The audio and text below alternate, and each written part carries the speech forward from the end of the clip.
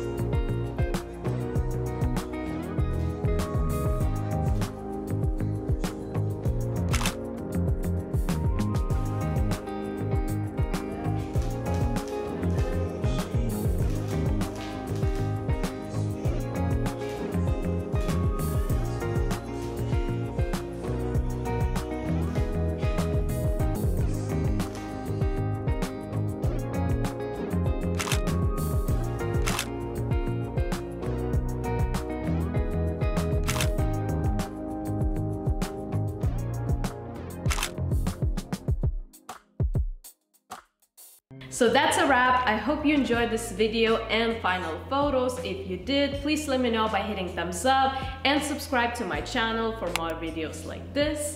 Thank you for watching and I will see you next week.